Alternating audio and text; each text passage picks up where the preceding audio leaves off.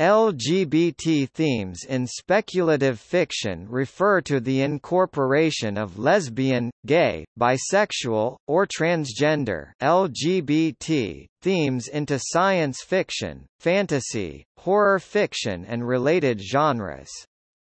Such elements may include an LGBT character as the protagonist or a major character, or explorations of sexuality or gender that deviate from the heteronormative. Science fiction and fantasy have traditionally been puritanical genres aimed at a male readership, and can be more restricted than non-genre literature by their conventions of characterization and the effect that these conventions have on depictions of sexuality and gender. However, speculative fiction also gives authors and readers the freedom to imagine societies that are different from real-life cultures. This freedom makes speculative fiction a useful means of examining sexual bias, by forcing the reader to reconsider his or her heteronormative cultural assumptions. It has also been claimed by critics such as Nicola Griffith that LGBT readers identify strongly with the mutants, aliens, and other outsider characters found in speculative fiction. Before the 1960s, explicit sexuality of any kind was rare in speculative fiction, as the editors who controlled what was published attempted to protect their perceived key market of adolescent male readers. As the readership broadened, it became possible to include characters who were undisguised homosexuals, though these tended to be villains, and lesbians remained almost entirely unrepresented. In the 1960s, science fiction and fantasy began to reflect the changes prompted by the civil rights movement and the emergence of a counterculture. New Wave and feminist science fiction authors realized cultures in which homosexuality, bisexuality and a variety of gender models were the norm, and in which sympathetic depictions of alternative sexuality were commonplace. From the 1980s onwards, homosexuality gained much wider mainstream acceptance, and was often incorporated into otherwise conventional speculative fiction stories. Works emerged that went beyond simple representation of homosexuality to explorations of specific issues relevant to the LGBT community. This development was helped by the growing number of openly gay or lesbian authors and their early acceptance by speculative fiction fandom. Specialist gay publishing presses and a number of awards recognizing LGBT achievements in the genre emerged, and by the 21st century blatant homophobia was no longer considered acceptable by most readers of speculative fiction. There was a concurrent increase in representation of homosexuality within non-literary forms of speculative fiction, the inclusion of LGBT themes in comic books, television and film continues to attract media attention and controversy, while the perceived lack of sufficient representation, along with unrealistic depictions, provokes criticism from LGBT sources.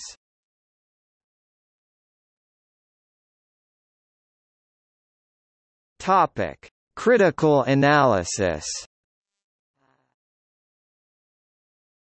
As genres of popular literature, science fiction and fantasy often seem more constrained than non-genre literature by their conventions of characterization and the effects that these conventions have on depictions of sexuality and gender.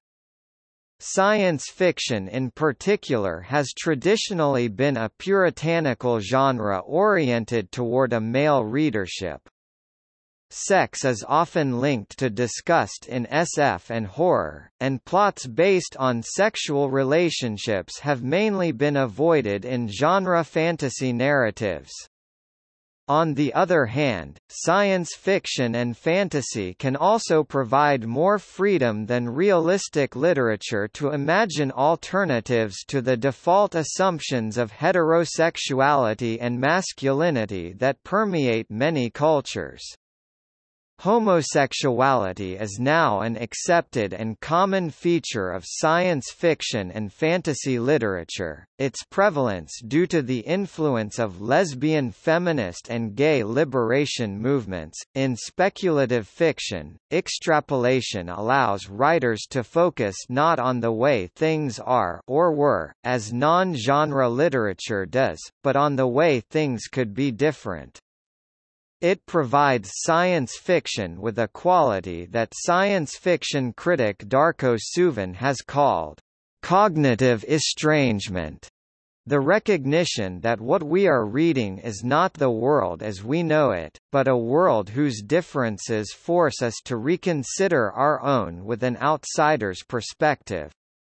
When the extrapolation involves sexuality or gender, it can force the reader to reconsider his or her heteronormative cultural assumptions. The freedom to imagine societies different from real life cultures makes SF an effective tool for examining sexual bias.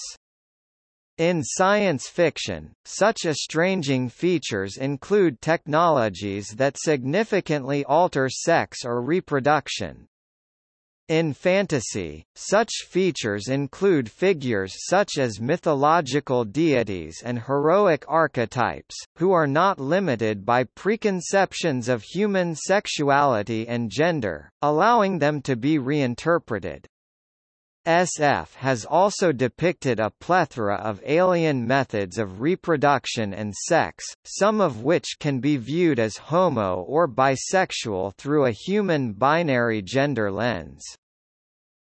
In spite of the freedom offered by the genres, gay characters often remain contrived and stereotypical, and most SF stories take for granted the continuation of heteronormative institutions. Alternative sexualities have usually been approached allegorically, or by including LGBT characters in such a way as to not contradict mainstream society's assumptions about gender roles. Works that feature gay characters are more likely to be written by women writers, and to be viewed as being aimed at other women or girls. Big name male writers are less likely to explore gay themes. Speculative fiction has traditionally been straight Samuel R. Delany has written that the science fiction community is predominantly made up of white male heterosexuals, but that the proportion of minorities, including gay people, is generally higher than found in a literary group. The inclusion of homosexuality in SF has been described in science fiction culture as sometimes lagging behind the general population, sometimes surging ahead. Nicola Griffith has written that LGBT readers tend to identify strongly with the outsider status of mutants, aliens, and characters who lead hidden or double lives in science fiction. In comparison, Geoff Ryman has claimed that the gay and SF genre markets are incompatible, with his books being marketed as one or the other, but never both, and David Seed said that SF purists have denied that SF that focuses on soft science fiction themes and marginalized groups including gay SF is real science fiction. Gay and lesbian science fiction have at times been grouped as distinct subgenres of SF, and have some tradition of separate publishers and awards.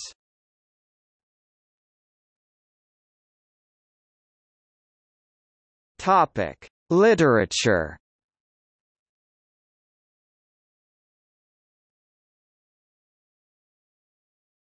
Topic: Proto-SF.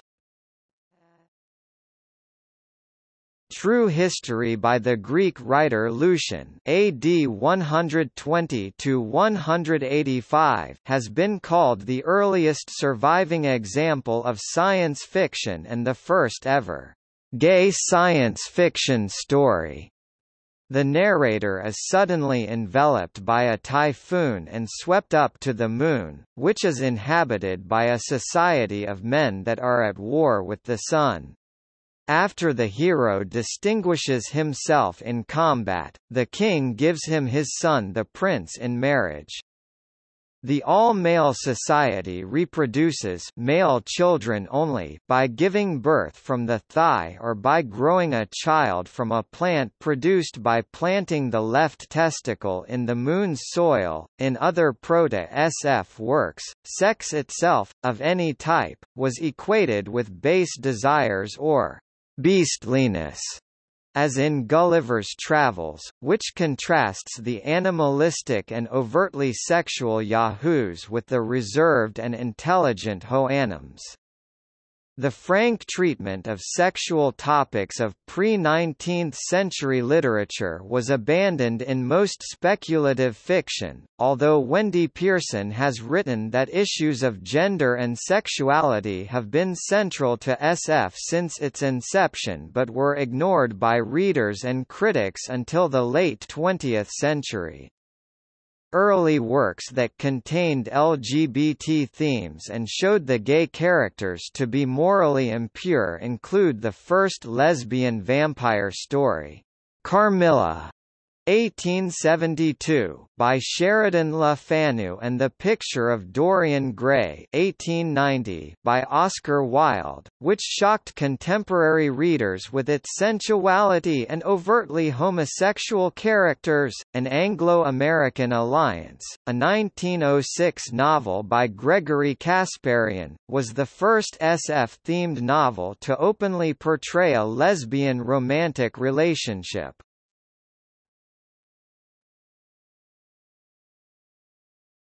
Topic: The pulp era, 1920 to 30s.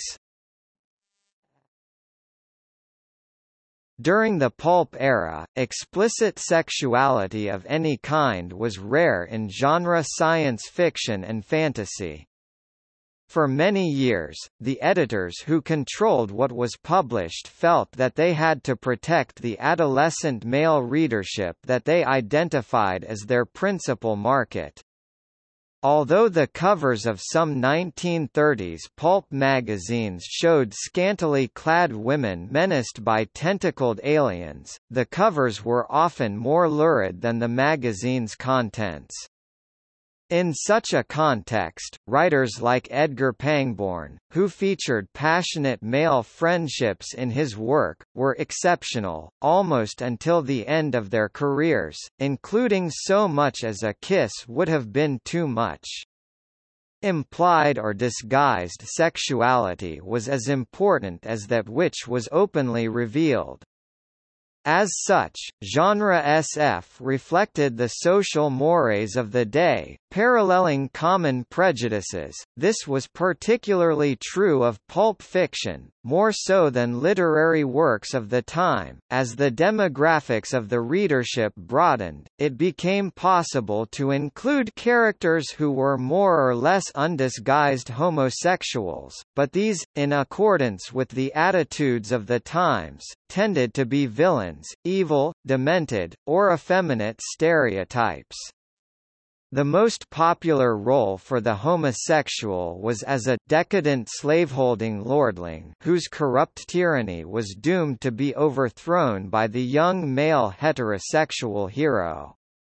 During this period, lesbians were almost entirely unrepresented as either heroes or villains. One of the earliest examples of genre science fiction that involves a challenging amount of unconventional sexual activity is the early novel Odd John (1935) by Olaf Stapledon. John is a mutant with extraordinary mental abilities who will not allow himself to be bound by many of the rules imposed by the ordinary British society of his time. The novel strongly implies that he seduces an older boy who becomes devoted to him but also suffers from the affront that the relationship creates to his own morals.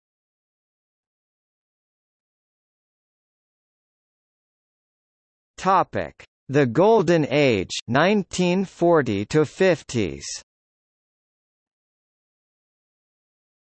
In the golden age of science fiction, the genre resolutely ignored the whole subject of homosexuality, according to Joanna Russ.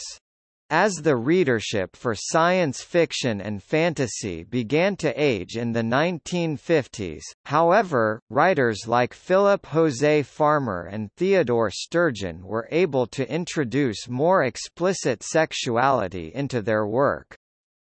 Until the late 1960s, however, few other writers depicted alternative sexuality or revised gender roles, or openly investigated sexual questions. The majority of LGBT characters were depicted as caricatures, such as man-hating Amazons and attempts at portraying homosexuals sympathetically or non-stereotypically were met with hostility. Sturgeon wrote many stories during the golden age of science fiction that emphasized the importance of love, regardless of the current social norms. In his short story, The World Well Lost, 1953, first published in Universe magazine, homosexual alien fugitives and unrequited and taboo human homosexual love are portrayed. The tagline for the Universe cover was, "...his most daring story." Its sensitive treatment of homosexuality was unusual for science fiction published at that time, and it is now regarded as a milestone in science fiction's portrayal of homosexuality. According to an anecdote related by Samuel R. Delany, when Sturgeon first submitted the story, the editor Howard Browne not only rejected it but phoned every other editor he knew and urged them to reject it as well. Sturgeon would later write Affair with a Green Monkey, which examined social stereotyping of homosexuals, and in 1960 published Venus Plus X, in which a single-gender society is depicted and the protagonist's homophobia portrayed unfavorably. Images of homosexual male societies remained strongly negative in the eyes of most SF authors.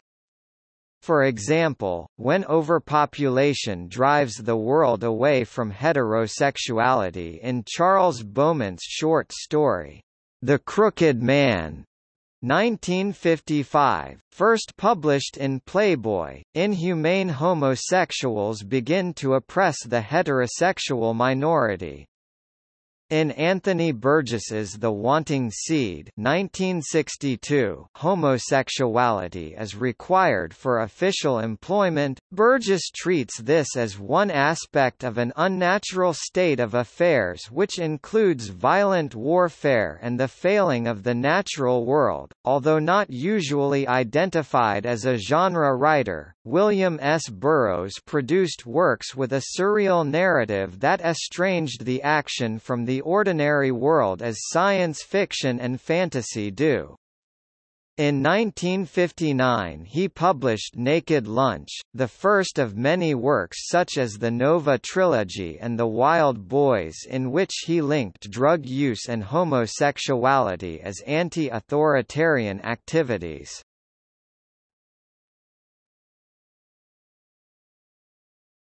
Topic: The New Wave era, 1960 to 70s. By the late 1960s, science fiction and fantasy began to reflect the changes prompted by the civil rights movement and the emergence of a counterculture. Within the genres, these changes were incorporated into a movement called the New Wave, a movement more skeptical of technology, more liberated socially, and more interested in stylistic experimentation. New Wave writers were more likely to claim an interest in inner space instead of outer space. They were less shy about explicit sexuality and more sympathetic to reconsiderations of gender roles and the social status of sexual minorities. Under the influence of new wave editors and authors such as Michael Moorcock editor of the influential New Worlds, sympathetic depictions of alternative sexuality and gender multiplied in science fiction and fantasy, becoming commonplace. The introduction of gay imagery has also been attributed to the influence of lesbian feminist and gay liberation movements in the 1960s. In the 1970s, lesbians and gay men became a more visible presence in the SF community and as writers, notable gay authors included Joanna Russ, Thomas M. Disch and Samuel R. Delany. Feminist SF authors imagined cultures in which homo and bisexuality and a variety of gender models were the norm. Joanna Russ's The Female Man 1975 and the award-winning story, When It Changed, showing a female-only lesbian society that flourished without men, were enormously influential. Russ is largely responsible for introducing radical lesbian feminism into science fiction. She has stated that being openly lesbian was bad for her career and sales. Similar themes are explored in James Tiptree Jr.'s award-winning Houston, Houston, Do You Read? Which presents a female-only society after the extinction of men from disease. The society lacks stereotypically male problems such as war, but is stagnant. The women reproduce via cloning and consider men to be comical. Tiptree was a closeted bisexual woman writing secretly under a male pseudonym, and explored the sexual impulse as her main theme. Other feminist utopias do not include lesbianism. Ursula K. Le Guin's The Left Hand of Darkness 1969 depicts trans-species sexuality, in which individuals are neither male nor female but can have both male and female sexual organs and reproductive abilities, making them in some senses bisexual. In The Language of the Night, a collection of Le Guin's criticism, she admits to having quite unnecessarily locked the Gethenians into heterosexuality, the omission of the homosexual option implies that sexuality is heterosexuality. I regret this very much. Le Guin often explores alternative sexuality in her works, and has subsequently written many stories that examine the possibilities SF allows for non-traditional homosexuality, such as the bisexual bonding between clones in Nine Lives. Sexual themes and fluid genders also figure in the works of John Varley, who came to prominence in the 1970s. Many of his stories contain mentions of same-sex love and gay and lesbian characters. In his Eight Worlds suite of stories and novels, humanity has achieved the ability to change sex on a whim.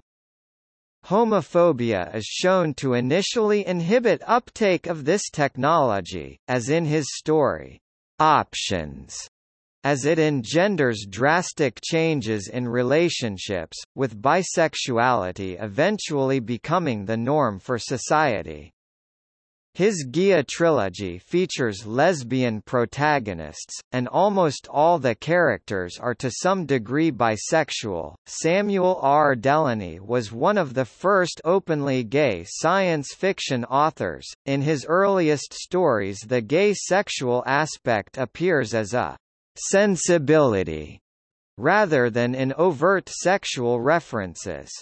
In some stories, such as Babel 17 1966, same-sex love and same-sex intercourse are clearly implied but are given a kind of protective coloration because the protagonist is a woman who is involved in a three-person marriage with two men.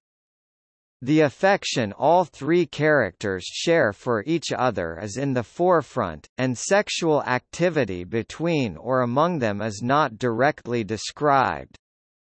In Dahlgren 1975, his most famous science fiction novel, Delany peoples his large canvas with characters of a wide variety of sexualities. Once again, sexual activity is not the focus of the novel although there are some of the first explicitly described scenes of gay sex in SF and Delany depicts characters with a wide variety of motivations and behaviors. Delany's Nebula-winning short story, Aye, and Gomorrah, posits the development of neutered human astronauts and then depicts the people who become sexually oriented toward them. By imagining a new gender and resultant sexual orientation, the story allows readers to reflect on the real world while maintaining an estranging distance.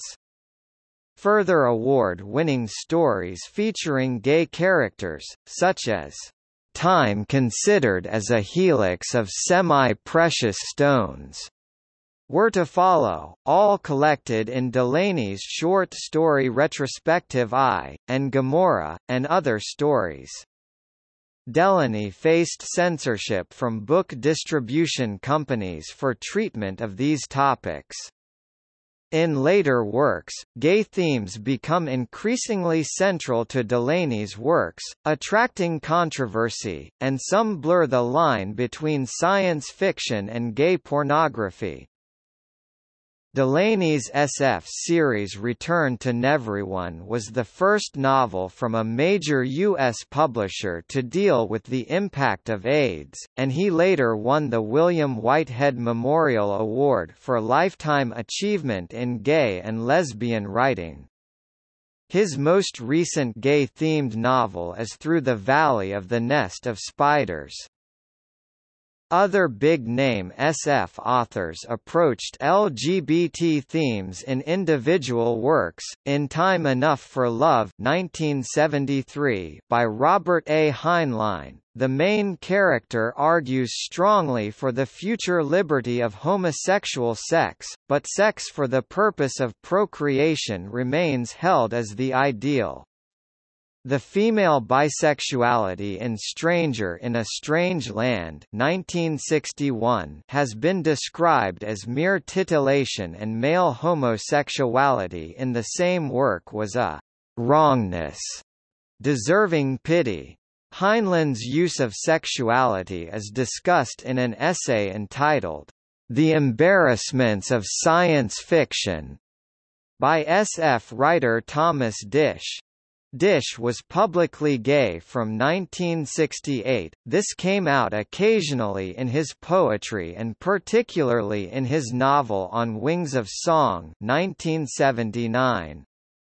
His other major SF novels also contained bisexual characters. In his Mosaic novel 334, gay people are referred to as Republicans in contrast to the straight Democrats. However, he did not try to write to a particular community. I'm gay myself, but I don't write gay literature. Michael Moorcock was one of the first sci-fi authors to depict positive portrayals of homosexual, lesbian and bisexual relationships and sex in his novels. For example, in his 1965 novel, The Final Program, most of the leading characters, including the central hero Jerry Cornelius, engage in same-sex relationships on multiple occasions and same-sex relationships are depicted as entirely normal and without any moralizing, negative consequences or gratuitous titillation. This is the case in the whole Jerry Cornelius series and in Moorcock's fiction generally particularly in The Dancers at the End of Time series sexuality is seen as polymorphic and fluid rather than based in fixed identities and gender roles. Elizabeth Lynn is an openly lesbian science fiction and fantasy writer who has written numerous works featuring positive gay protagonists. Her Chronicles of Tornor Novels 1979–80, the first of which won the World Fantasy Award, were among the first fantasy novels to have gay relationships as an unremarkable part of the cultural background, and included explicit and sympathetic depictions of same-sex love. The third novel is of particular lesbian interest. Her SF novel A Different Light 1978 featured a same-sex relationship between two men, and inspired the name of the LGBT bookstore and chain, A Different Light.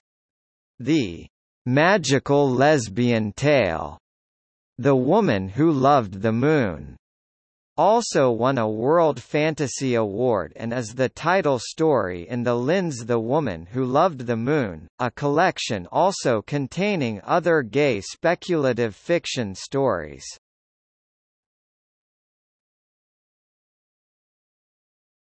Topic: Modern SF post-New Wave After the pushing back of boundaries in the 1960s and 1970s, homosexuality gained much wider tolerance, and was often incorporated into otherwise conventional SF stories with little comment.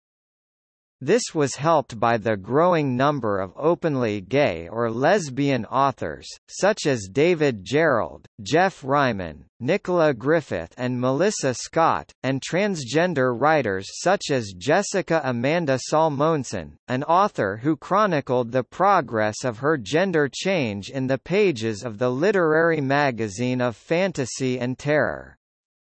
In the 1980s, blatant homophobia was no longer considered acceptable to most readers. However, depictions of unrealistic lesbians continue to propagate for the titillation of straight men in genre works. In the 1990s, stories depicting alternative sexualities experienced a resurgence. Uranian Worlds, by Eric Garber and Lynn Paleo, was compiled in 1983 and is an authoritative guide to science fiction literature featuring gay, lesbian, transgender, and related themes.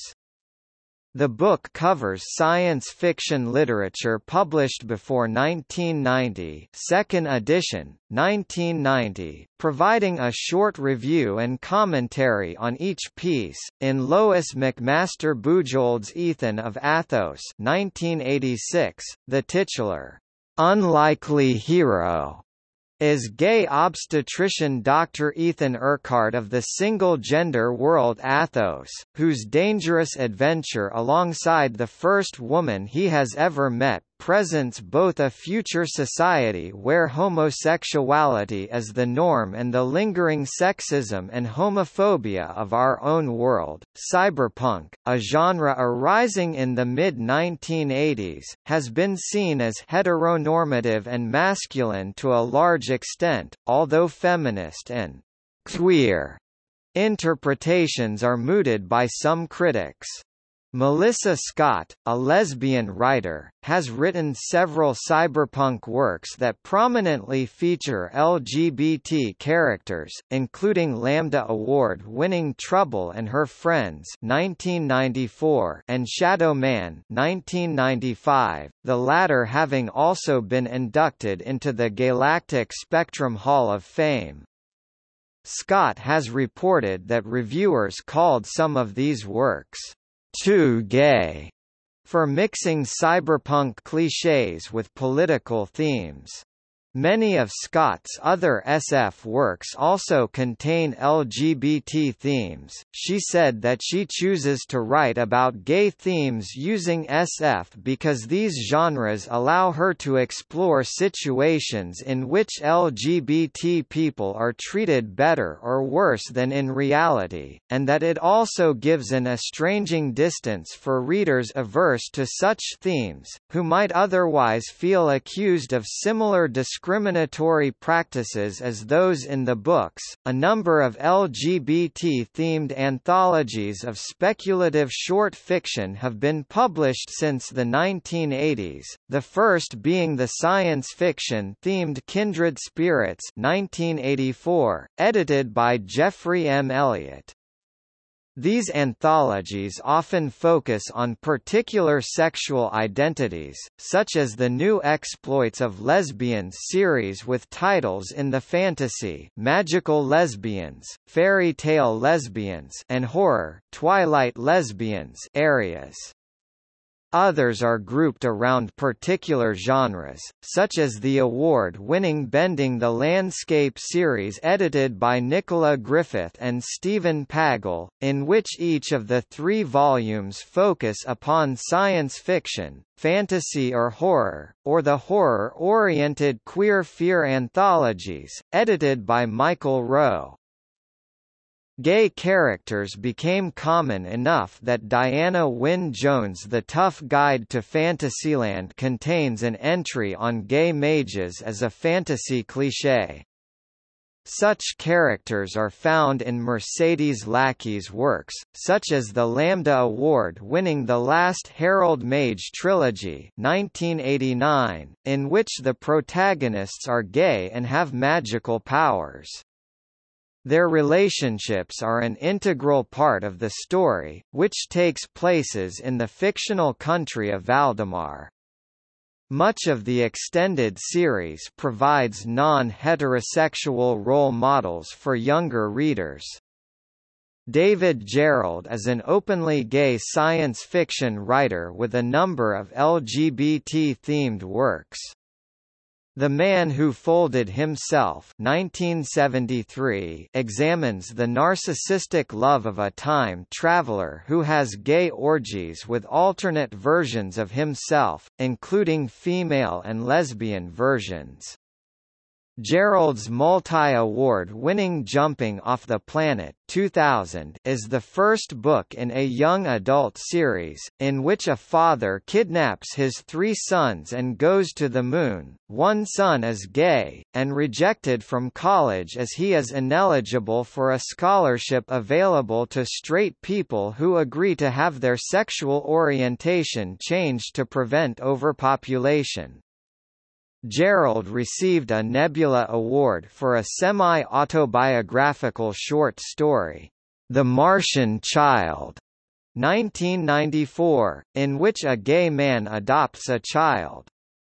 The story was later expanded to book length, and a feature film was produced in which the protagonist was straight, causing criticism. Geoff Ryman wrote several award-winning novels and short stories that prominently feature LGBT characters. The protagonist of The Child Garden, 1989, an outsider because of her resistance to genetic manipulation and her lesbianism, enters into a relationship with a similarly outcast lesbian polar bear.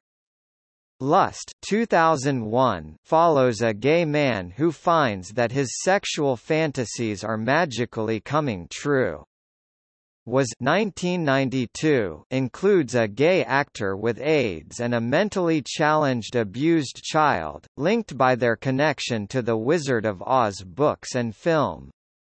In a Locus magazine interview Ryman claimed that the gay and SF genre markets are incompatible. In 1990, if you had asked me which was the worst thing to be labeled as, gay or an SF writer, I'd have said gay, kills you stone dead in the market.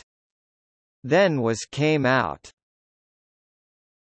They had it in the gay section of bookstores and they had stuff in gay magazines, but they didn't say SF. At which point I realized that being a science fiction writer is worse than being gay.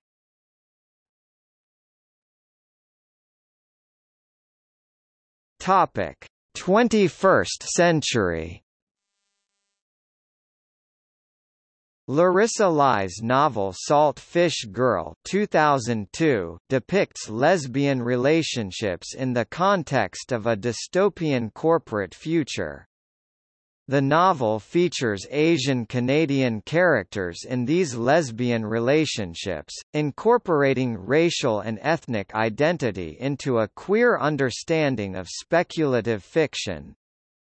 Salt Fish Girl engages queer ideas in regards to procreation and bodies, as characters are able to give birth without sperm by eating the durian fruit. It was shortlisted for the James Tiptree Jr. Award in 2002. Elizabeth Bear's Carnival 2006 revisits the trope of the single-gender world, as a pair of gay male ambassador spies attempt to infiltrate and subvert the predominantly lesbian civilization of New Amazonia, whose matriarchal rulers have all but enslaved their men. Sarah Hall's dystopian novel The Carhullan Army 2007, published in the U.S. under the title Daughters of the North, matter-of-factly features lesbians as primary characters. The novel won the 2007 John Llewellyn Rhys Prize and James Tiptree, Jr. Award, and was shortlisted for the 2008 Arthur C. Clarke Award.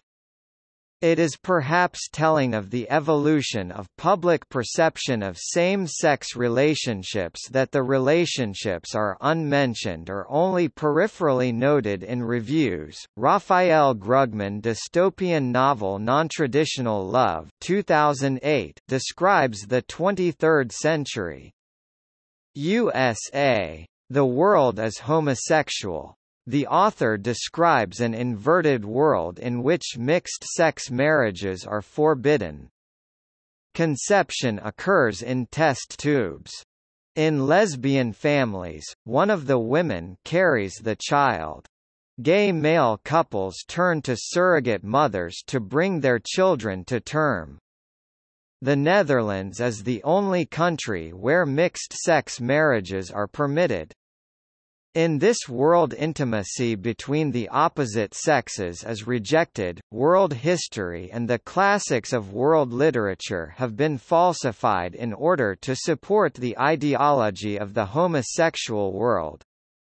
The author paints a grotesque situation, but underlying this story is the idea that society should be tolerant and accepting and respect the right of every person to be themselves. Reviewing the field of lesbian romance speculative fiction in 2012, Liz Bourke concluded that it remained a niche subgenre of uneven quality, but mentioned Jane Fletcher, Chris Ann Wolfe, Barbara Ann Wright, Sandra Barrett and Ruth Diaz as contributors of note.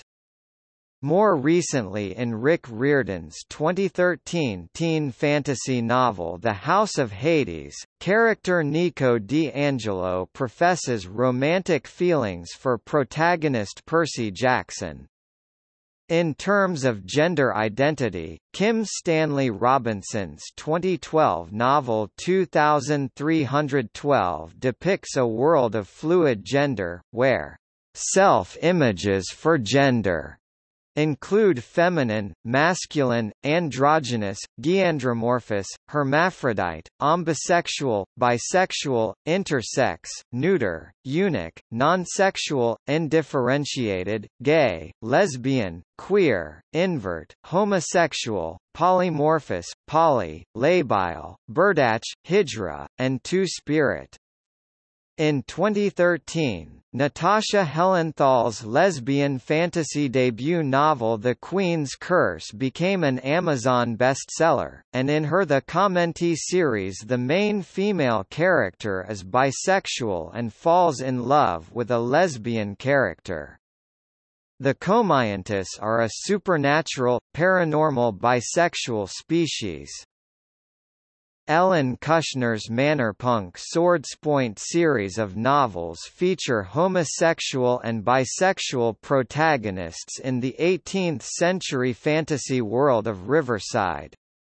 It spawned Swordspoint, Tremontaine, a 13-part fantasy of manners, written by a variety of authors. The audiobooks of Swordspoint won the 2013 Audie Award for Best Audio Drama, the Earphones Award from AudioFile magazine, and the 2013 Communicator Award, Gold Award of Excellence Audio.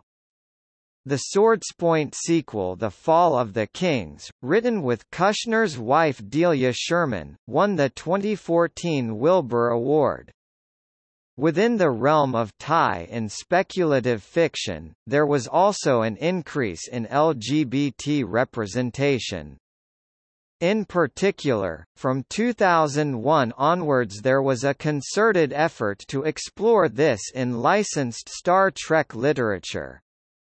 In the Star Trek, Deep Space Nine relaunch, the post-series novels following the end of the eponymous television series, a passing line in one series to a certain species, the Andorians, marrying in fours allowed the exploration of a quatri-gendered species, who partnered in broadly two male and two female species. Andrew J. Robinson's Garak novel, A Stitch in Time, suggested the omnisexuality of his character, which was followed up in subsequent novels, in particular Una McCormack's 2014 novel, The Crimson Shadow. In the original series Star Trek, Vanguard, created by Marco Palmieri and David Alan Mack, two of the main characters were a lesbian Vulcan officer and a lesbian Klingon intelligence agent. Sarah Waters is a Welsh author popular for lesbian romances in historical times, most often the Victorian era. Popular works of hers include Tipping the Velvet (1998) and Fingersmith (2002).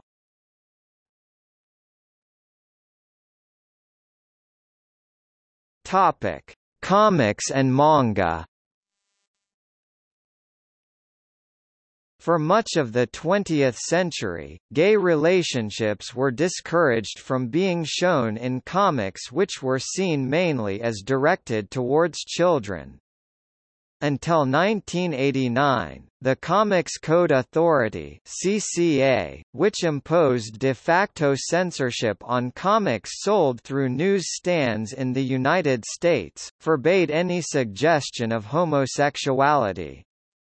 Artists had to drop subtle hints while not stating directly a character's orientation. Overt gay and lesbian themes were first found in underground and alternative titles which did not carry the CCA's seal of approval. The CCA came into being in response to Frederick Wertham's Seduction of the Innocent, in which comic book creators were accused of attempting to negatively influence children with images of violence and sexuality, including subliminal homosexuality. Wertham claimed Wonder Woman's strength and independence made her a lesbian, and stated that the Batman type of story may stimulate children to homosexual fantasies. In recent years the number of LGBT characters has increased greatly in mainstream superhero comics, however, LGBT characters continue to be relegated to supporting roles, and generate criticism for the treatment gay characters receive.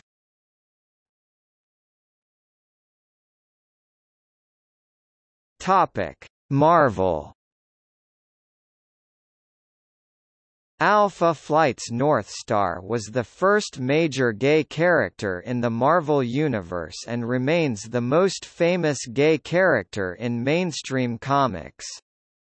Created by Marvel Comics in 1979 as a member of the original Alpha Flight superhero team, Northstar's sexual identity was hinted at early in his history, in 1983 in issues 7 and 8 of Alpha Flight, but not openly stated. His apparent lack of interest in women was chalked up to his obsessive drive to win as a ski champion. The character was finally revealed to be gay in 1992's Alpha Flight issue 106 and his outing made national headlines. In 2002, Marvel Comics revived the Rawhide Kid in their Marvel Max imprint, introducing the first openly gay comic book character to star in his own magazine. The first edition of the Rawhide Kids gay saga was called Slap Leather. According to a CNN.com article, the character's sexuality is conveyed indirectly, through euphemisms and puns, and the comic's style is campy. Conservative groups quickly protested the gay take on the character and claimed that children would be corrupted by it, and the covers carried an adults only label. Marvel's policy had stated that all series emphasizing solo gay characters must carry an adults only label, in response to conservative protests. But in 2006, Marvel editor-in-chief Joe Quesada claimed that this policy was no longer in force, and Marvel received GLAAD's 2005 Best Comic Book Award for its superhero comic book Young Avengers, which included gay characters but was published as a mainstream book with no warning label. In 2012, despite protests, Marvel published an issue of Astonishing X-Men in which Northstar married his partner, Kyle.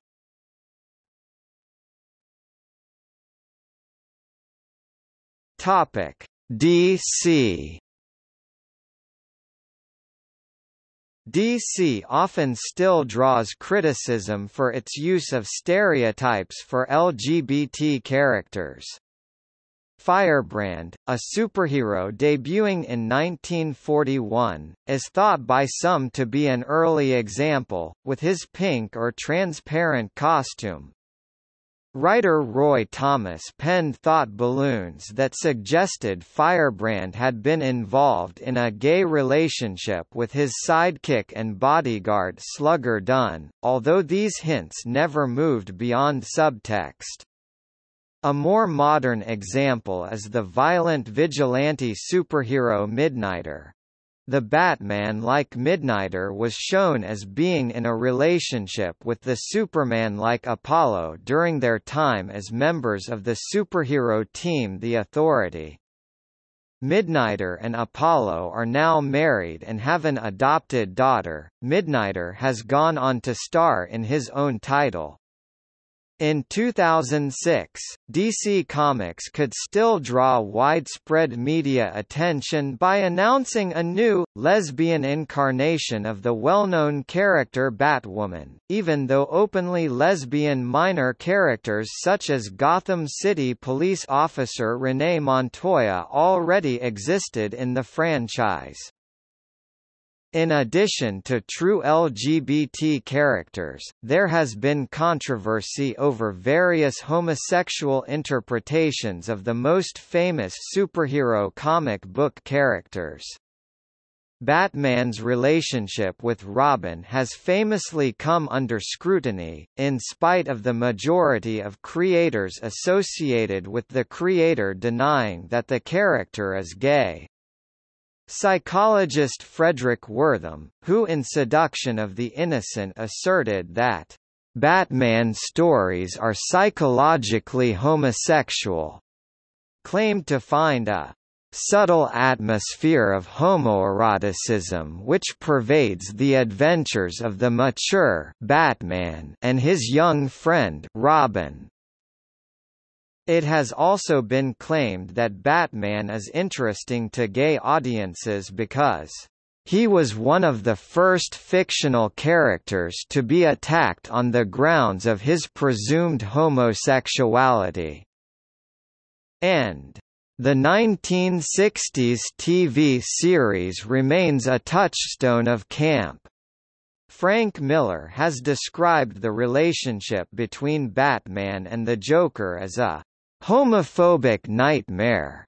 He views the character as sublimating his sexual urges into crime fighting. Some continue to play off the homosexual interpretations of Batman, one notable example occurred in 2000, when DC Comics refused to allow permission for the reprinting of four panels from Batman number 79, 92, 105 and 139 to illustrate Christopher York's paper All in the Family, Homophobia and Batman Comics in the 1950s. Another happened in the summer of 2005, when painter Mark Chamberlain displayed a number of watercolors depicting both Batman and Robin in suggestive and sexually explicit poses. DC threatened both artist and the Kathleen Cullen Fine Arts Gallery with legal action if they did not cease selling the works and demanded all remaining art, as well as any profits derived from them. Many of DC's gay characters, such as Obsidian and Renee Montoya, were changed or essentially erased in the New 52 reboot of 2011. Meanwhile, others, such as Kate Kane, were given far less attention than before the reboot. In 2012 DC announced that an iconic character would now be gay in the new DC universe. It was then revealed that Alan Scott, the original Green Lantern was that character. This led to fan outcry because his status as iconic is debatable, and he does not actually exist in the mainstream DC universe. This also effectively meant that the already gay character, Obsidian, could not exist as he was Alan Scott's child.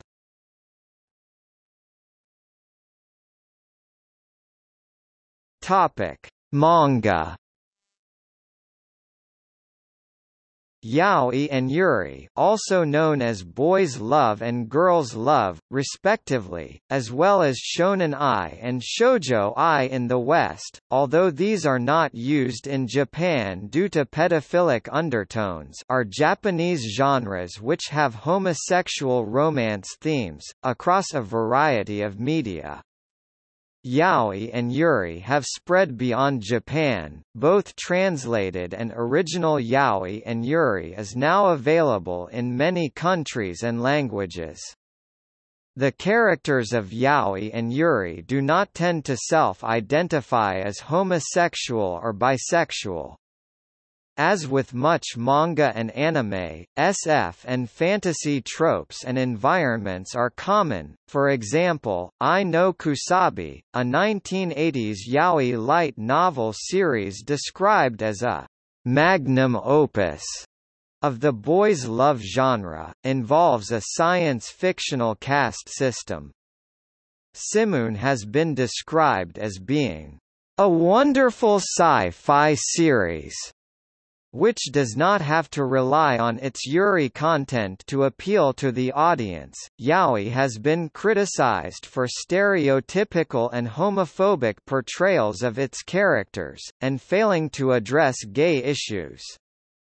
Homophobia, when it is presented as an issue at all, is used as a plot device to heighten the drama or to show the purity of the lead's love.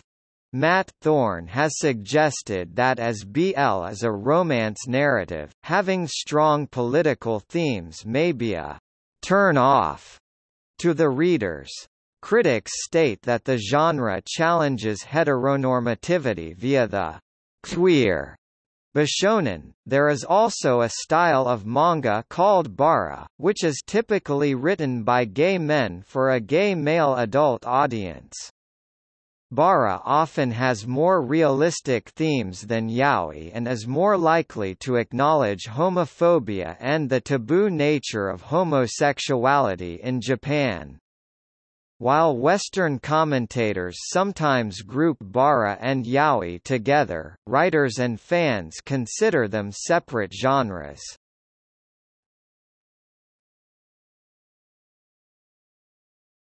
Topic: Film and television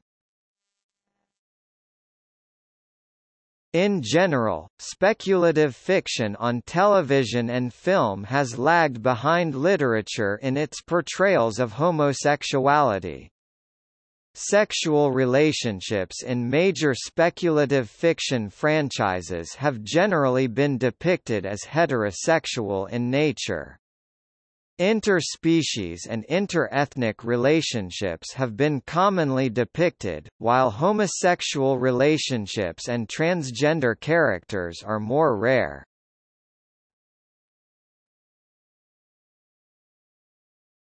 Topic: Film LGBT characters in films began to appear more regularly only in the 1980s. Films in the late 1920s and early 1930s reflected the liberal attitudes of the day and could include sexual innuendos and references to homosexuality, but from the 1930s until 1968 the film industry in the U.S. followed the production code. The code spelled out what was morally acceptable for a public audience. References to sexual perversions, such as homosexuality, were forbidden. Virtually all motion pictures produced in the United States adhered to the code, and similar censorship was common in other countries, for example an early version of the first lesbian vampire film Dracula's Daughter, a film described in The Celluloid Closet as presenting homosexuality as a predatory weakness was rejected by the British Board of Film Censors in 1935, who said in part, Dracula's daughter would require half a dozen languages to adequately express its beastliness. Horror author Anne Rice has named Dracula's Daughter as a direct inspiration for her own homoerotic vampire fiction, naming a bar in her novel Queen of the Damned, Dracula's Daughter, in honor of the film.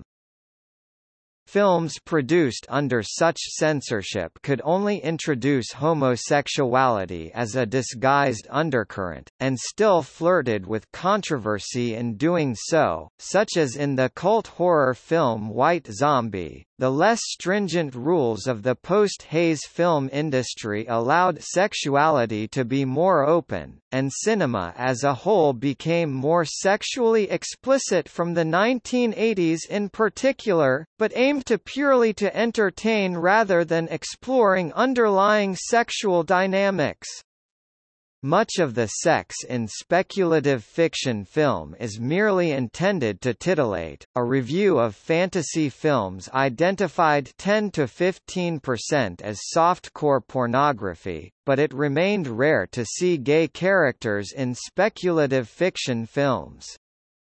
Horror films, that had sex as one of their major preoccupations, continued to be more leniently censored, due to the perception of being unserious and lightweight. Vampires in particular have been described as obvious erotic metaphors and as a result, numerous vampire films since the 1970s strongly imply or explicitly show lesbianism, following the inspiration of lesbian vampire story Carmilla. The prototypical Hollywood vampire, Dracula, was shown to be openly gay in the spoof film Does Dracula Suck? In 1969, gay genre films remain rare, and science fiction films' inclusion of gay characters continues to relegate them to supporting roles, such as the stereotypical, limp-wristed, frantic homosexual minor character played by Harvey Fierstein in the 1996 blockbuster Independence Day, a film whose main theme has been described as being the anxiety surrounding male friendships and homosexual panic. It is also interesting to note that the film's director, Roland Emmerich, is openly gay. Still there are some curious cases like Cthulhu 2007, a horror-thriller film based on the works of H. P. Lovecraft, in which the main character is gay but it isn't the main thing, although it is important in the development of the character's psychology. The film is plagued with monsters and disturbing happenings. Also, in V for Vendetta there are two secondary characters, one gay, one lesbian, shown as victims of the totalitarian dystopia. 2012 saw the light of the epic Wachowskis plus Tom Tykwer blockbuster, Cloud Atlas, featuring in one of the six stories a couple of gay characters.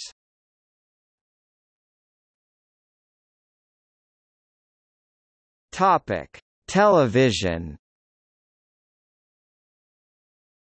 LGBT characters began appearing on television with increasing frequency only in the 1990s. The 1994 television science fiction show, Babylon 5 introduced a bisexual character, Susan Ivanova whose relationship with a fellow female telepath was revealed in Season 2 1995. Advocate magazine called this relationship out as the closest that the Star Trek franchise or any Star Trek clone as he called the show, had come to a gay creature much less a gay human being.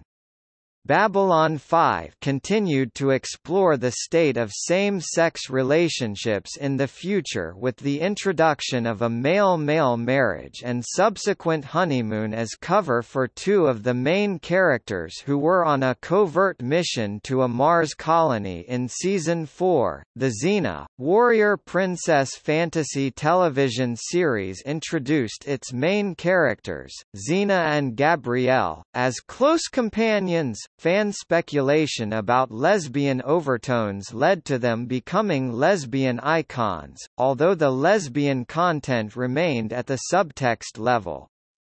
The series has been cited as trail-blazing and breaking down barriers, allowing the production of subsequent programming such as Buffy the Vampire Slayer, which introduced a number of LGBT characters.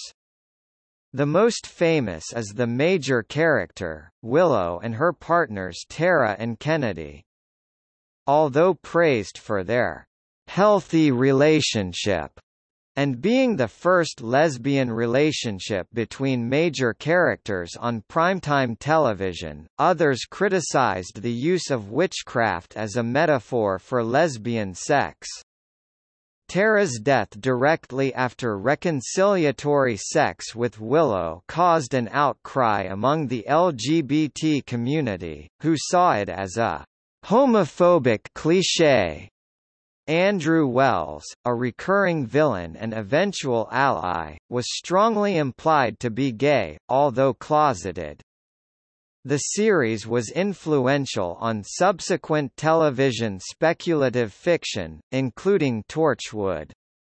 The series won a number of LGBT-themed awards, and was regarded as groundbreaking in its portrayal of gay youth. Torchwood is a British science fiction drama television programme, part of the long-running Doctor Who franchise, which began airing in 2006 on BBC Three. The series explores several themes in its narrative, in particular LGBT themes. Various characters are portrayed as sexually fluid. Through those characters, the series examines homosexual and bisexual relationships. Although the nature of their sexual flexibility is not explicitly discussed, the characters offer varying perspectives on orientation, with the Sun describing all of the characters on Torchwood as bisexual.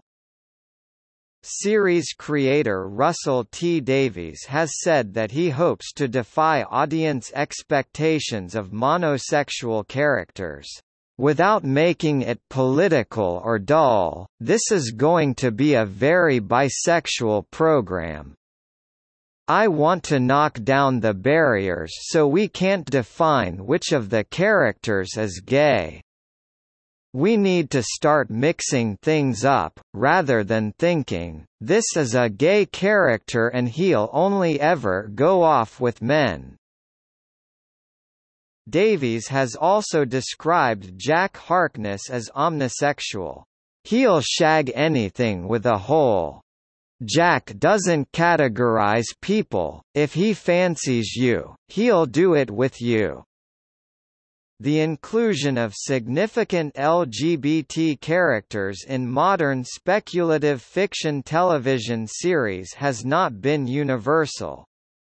For example, the Star Trek franchise's lack of same-sex relationships has long been a sore spot with LGBT fandom, some of whom have organized boycotts against the franchise to protest its failure to include LGBT characters.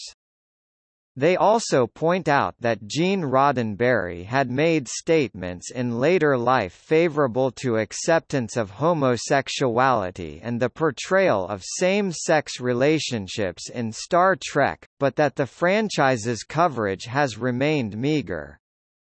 Within the Star Trek canon, there have been no officially recognized LGBT characters in the television spin-offs. The International Review of Science Fiction ran a feature entitled, Prisoners of Dogma and Prejudice, Why There Are No G, L, B, T Characters in Star Trek, Deep Space Nine. However, gender identity has occasionally been treated as an issue within the new Star Trek series, to be dealt with as a theme in individual episodes, such as the 1995 Star Trek, Deep Space Nine episode, Rejoined, which was the first episode of the show to feature a same-sex relationship and romantic same-sex kiss between women. Subsequently, the Star Trek franchise has portrayed a few same-sex kisses, but always in the context of either the evil mirror universe, the Emperor's New Cloak, or body possession, warlord, and others, and often for comedic purposes between otherwise heterosexual characters. In a 2000 fandom interview, Star Trek screenwriter Ronald D. Moore suggested that the reason why no gay characters existed in the television franchise was because someone wanted it that way, and no amount of support from fans, cast or crew was going to make any difference. In recent years, a few of the Star Trek novels and comics, which are officially licensed but not considered canon, have featured serious direct same-sex relationships, including portraying a minor canon character as gay. In 2005, the television series Dante's Cove premiered on the Here cable station. The series included both gay and lesbian couples dealing with supernatural situations in the coastal town of the same name. The following year, Sci-Fi premiered the series Eureka. The series spotlighted a fictional town in Oregon that consisted almost entirely of geniuses. This included the town's cafe owner Vincent, who also happened to be gay. HBO brought then new series True Blood to the forefront of gay genre television, introducing a variety of omnisexual characters to the small screen in 2008 including, Lafayette Reynolds played by Nelsan Ellis, Jesus Velasquez played by Kevin Alejandro, Tara Thornton, played by Rutina Wesley, Pam Swinford de Beaufort, played by Kristin Bauer van Straten, Eddie Gauthier, played by Stephen Root, Russell Edgington, played by Denis O'Hare, and Rev. Steve Newlin, played by Michael McMillian. Stargate Universe in 2009 became the first space-based science fiction show to feature an openly gay character in its primary cast, which was Camille Ray, played by Ming Na.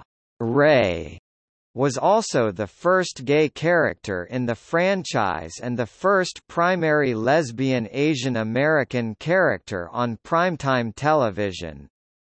Ray's storyline featured a committed long-term relationship with her Earth-bound partner Sharon, played by Reiko Aylesworth, the lifelike portrayal of which was very positively received by the lesbian community and press. Stargate Universe was cancelled after a two-season run. In 2009, the series Warehouse 13 premiered on the Sci-Fi cable network.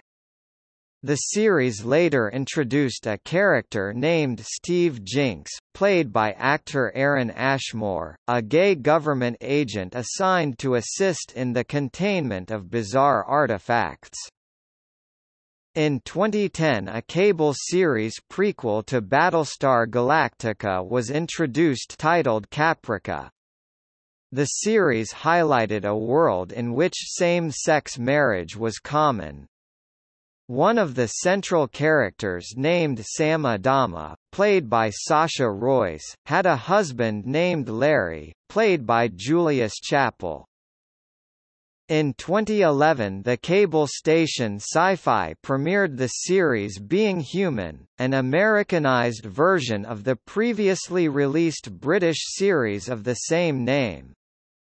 A lesbian character named Emily Levison, played by actress Alison Louder, was introduced as the sister to one of the main characters.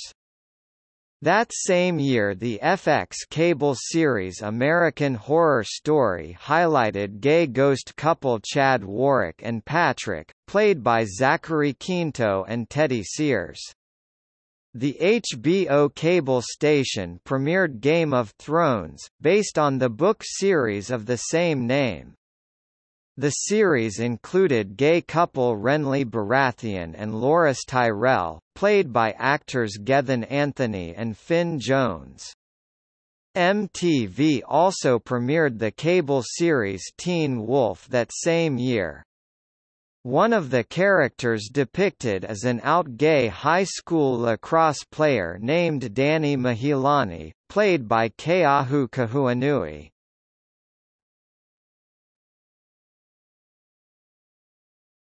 Topic: Slash fiction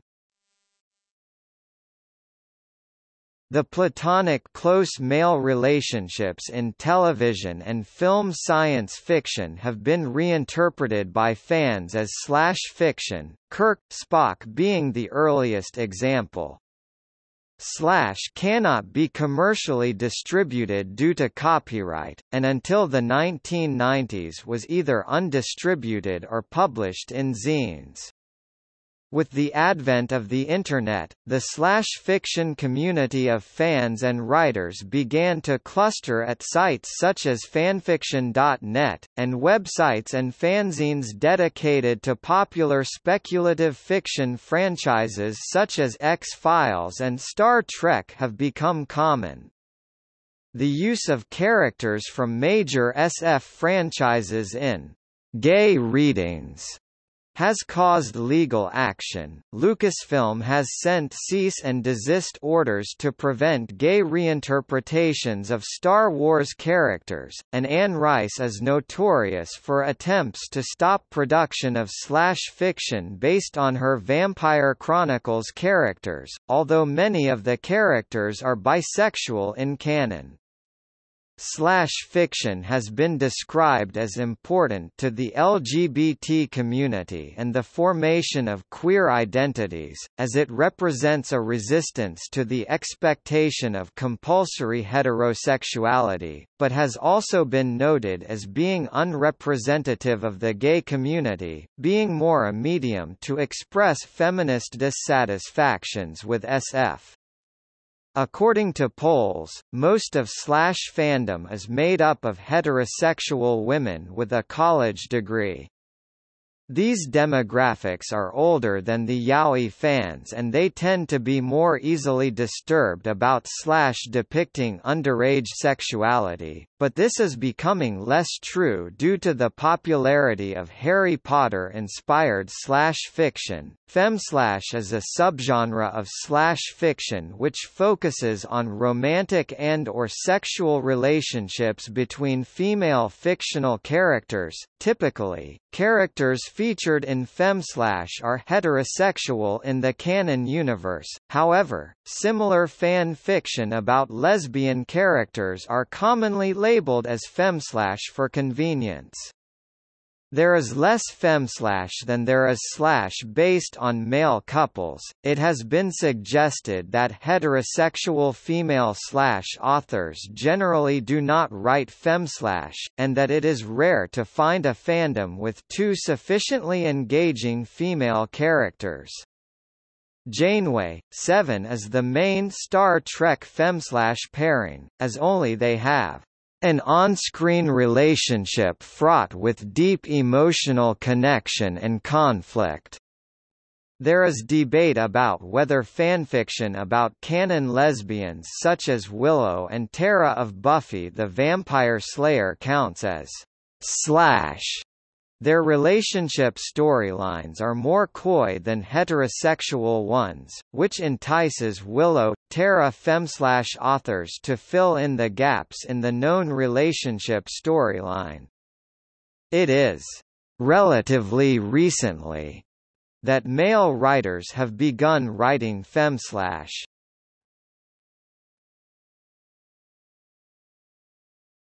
Topic: Reaction of the speculative fiction community There has been a long history of tolerance of LGBT people in SF fandom. The presence of gay members was noted by attendees of early conventions, but generally not discussed, the idea that gay or lesbian members would seek recognition within the SF community was unthinkable and an accusation in the 1940s by a fanzine editor that the Los Angeles Science Fiction Association was full of gay members, caused a scandal in fan circles. Prominent SF fan Forrest Ackerman is regarded as one of the first members of fandom to openly support the gay and lesbian movements. He was known for writing early lesbian fiction and aided in the publication of the Ladder, the journal of the recently formed lesbian group The Daughters of Bilitis. He claims the group named him an honorary lesbian for his support, and to have pseudonymously written the earliest work of lesbian SF in 1947 in Vice Versa, the lesbian fanzine edited by Lisa Ben, as the number of works featuring LGBT characters increased, so did the visibility of LGBT fans. At least as early as the 1980 Worldcon Noreascon 2, there were gatherings of gay and gay-friendly members of the SF community, including Samuel R. Delany, Marion Zimmer Bradley and Melissa Scott. However, such meetings did not necessarily indicate wholehearted acceptance within the fan community, and gay and lesbian fans were not regarded as a unified interest group.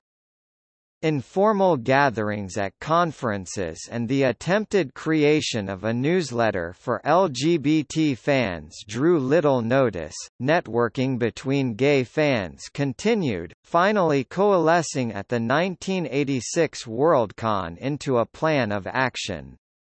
This led to the first Gaylaxicon science fiction convention being held in 1988 and subsequently to the creation of the Gaylactic Network and the Gaylactic Spectrum Awards by the science fiction community.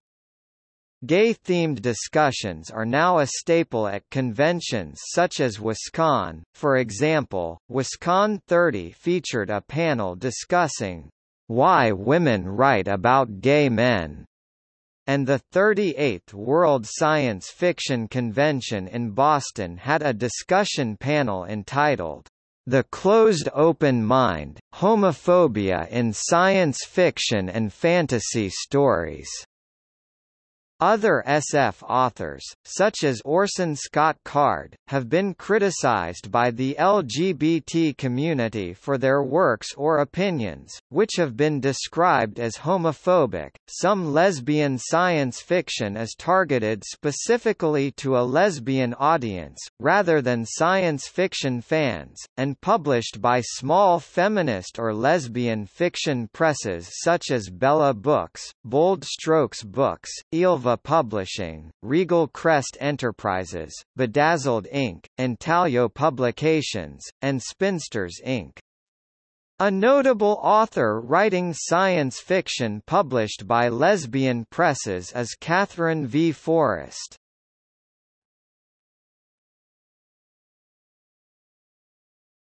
Topic: LGBT Speculative Fiction Awards A number of awards exist that recognize works at the intersection of LGBT and speculative fiction. The Gaylactic Spectrum Awards honor works in science fiction, fantasy and horror which include positive explorations of gay, lesbian, bisexual or transgender characters, themes, or issues. The awards were instituted in 1999 and are given for Best Novel, Short Fiction and other works of the previous year. Works produced before the award's inception are eligible for entry into the Hall of Fame. The Lambda Literary Awards include awards for science fiction, fantasy and horror. The awards were first presented in 1989, with separate categories for speculative fiction for lesbians and gay men. In 1993 these categories were merged and the combined award has undergone several name changes since then. Although the awards are given based on the quality of the writing and the LGBT themes, the author's sexual orientation is also a factor. The James Tiptree Jr. Award honors works of science fiction or fantasy that expand or explore one's understanding of gender. Thus, it often goes to works which deal directly or tangentially with gay, lesbian, bisexual or transgender issues. Golden Crown Literary Society Awards or Goldies are given to works containing lesbian themes or depictions of lesbian characters. Awards are given in numerous categories, including speculative fiction or sci-fi, fantasy, horror, and paranormal romance.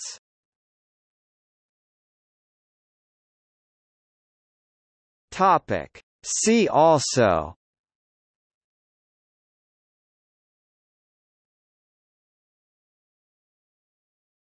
Topic. Footnotes A SF is used throughout as an abbreviation for speculative fiction, for convenience. Science fiction and slash fiction are written in full when referred to specifically, B collected in in a glass darkly, c collected in a saucer of loneliness, d collected in her smoke rose up forever. E collected in the wind's twelve quarters.